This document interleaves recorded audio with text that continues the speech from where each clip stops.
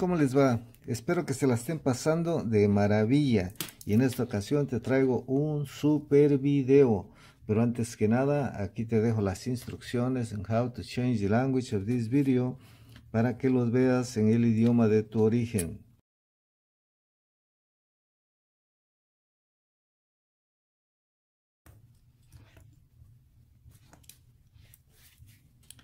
Continuando con el video, te muestro rápido lo que más utilizo para remover la SIM card, el chip, luego tweezers, pinzas, esta espátula de buena calidad, dura, no se dobla, desarmadores, no importa la marca, es 3 ceros, 2 ceros, 1 0 y aquí este es para los iPhone, el Pentalobe de 5 lados de estrella, este es el de tres lados, three wings, para los tornillos de adentro. Este también es para los tornillos de tres lados, pero un poco más grandecito. Y esta navaja que le corto las puntas me ayuda perfectamente para abrir los teléfonos. Y esta es la lámina maestra, la corto de la parte de atrás de los iPhone 7 Plus. Es flexible, súper delgada, la cortas con tijeras para fierro, le esmerilas, le lijas para que quede bien y esta hasta te puede cortar, aquí me cortó hace un rato.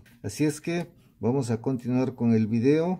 Como puedes ver aquí, este es un Samsung A31 y tiene el problema del táctil o del touch.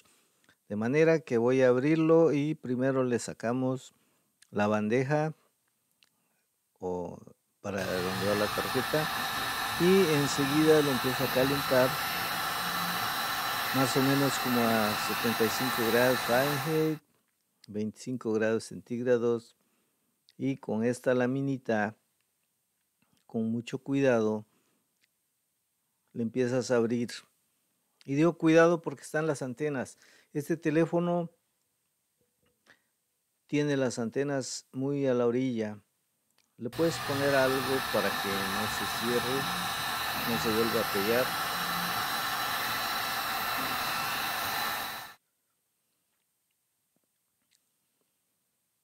Y aquí se le sigue abriendo con cuidado.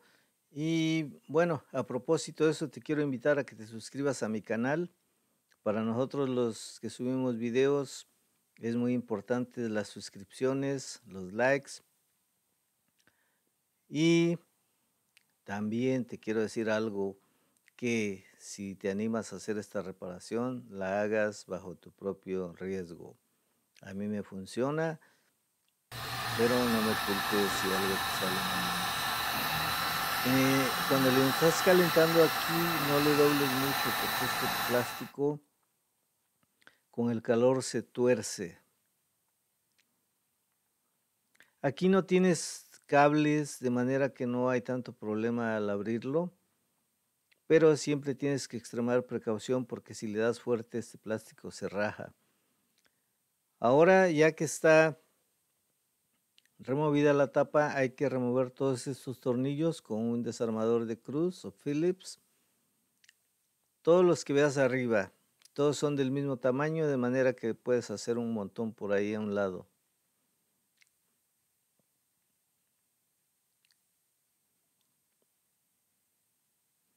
Y aquí, mira, eh, a la hora de abrirlo, le insertas con cuidado y le das hacia abajo.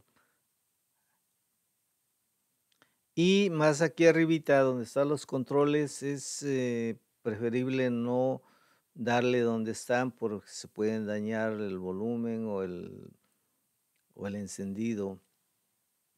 Aquí esta pieza está muy agarrada con sus brackets. Esto generalmente le llaman el middle frame o, el marco de en medio. Y aquí ya está abierto. Primero Recomiendo desconectar la batería y es lo último que conectas. Aquí este es el cable. Este es el del charging port o centro de carga y este es el del display. Aquí primero desconectamos el cable porque este es un cable suave, este es el sensor de, de la huella.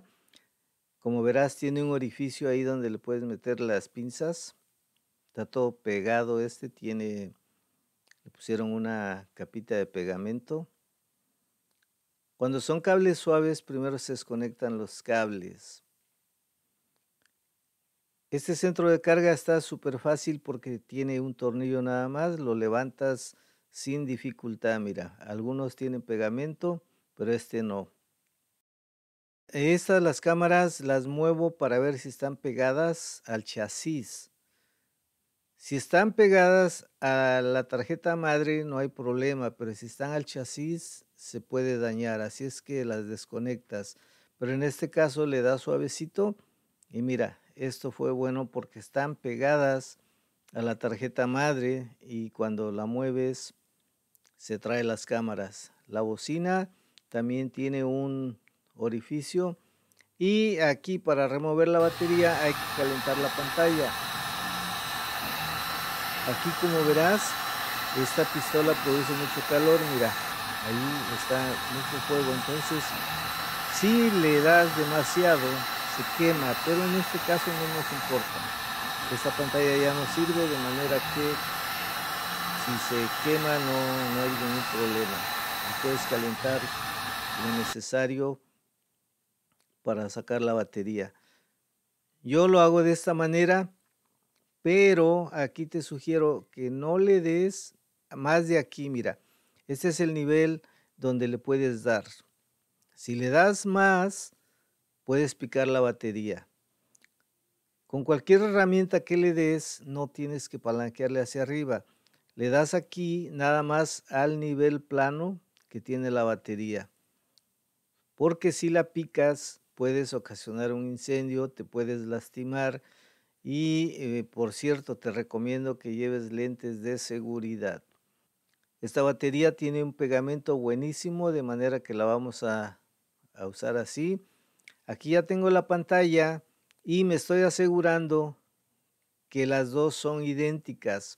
Y en este caso, mira este empaque, los empaquitos que ves aquí, hay que ver qué no tiene la pantalla nueva para que se lo quites a la vieja y se lo des a la nueva.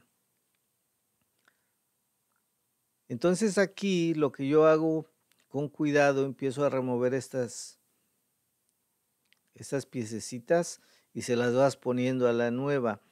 Porque algunas piezas parecen insignificantes, un empaque, un gasket, pero tienen una razón de ir ahí. A veces los sensores las necesitan y si no la lleva, no filtra eh, la, luz o algo así, y entonces ya no trabajan como debe de ser.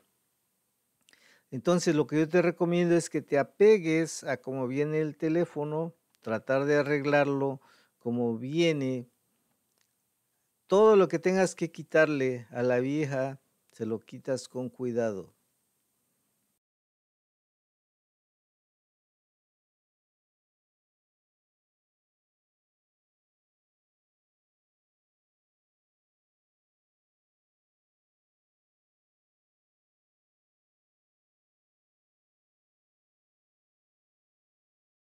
tratamos de hacerlo de la manera correcta. Aquí, mira, este está suelto, le ponemos un pedacito de pegamento para que se quede ahí quieto, tiene unos orificios donde va y la tarjeta madre, te fijas que no lleve nada pegado ahí, un tornillo, un pedazo de basura y la colocas, colocas la bocina, algunas veces la bocina va antes, en este caso no importa y le pone su tornillo para que se quede fija. El centro de carga también lleva un tornillo, acuérdate, y se lo pones y ya está. Este teléfono no está tan complicado. Y ya aquí va el sensor, lo conectas y como te decía, esto lo puedes hacer hasta con los ojos cerrados. La antena te aseguras que conecte bien.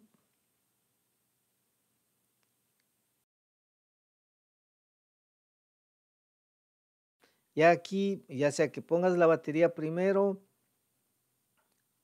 pongas el cable, esta la, la colocas bien. Si quieres ponerle más pegamento, no es necesario porque mira, por ejemplo, aquí esta no se cae. Conectas el cable y como te decía, la batería al último, en este caso ya es lo último. Y ya de ahí le vas a poner lo que es el, el marco de en medio, el mirror frame. Con cuidado y lo prendemos antes de ponerle los tornillos. Nos aseguramos que el teléfono funciona. Que la pantalla nueva está funcionando porque si no funciona bien hay que devolverla. Ya le pones su su tarjetita y le pones todos sus tornillos.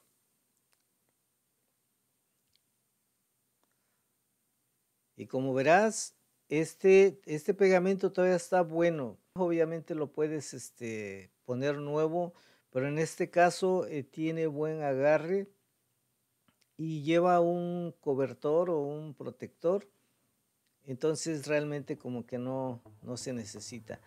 Me preguntarás que si sirve contra el agua. Mm, te puedo decir que todos los teléfonos si los mojas se dañan, así es que entre menos lo mojes mejor.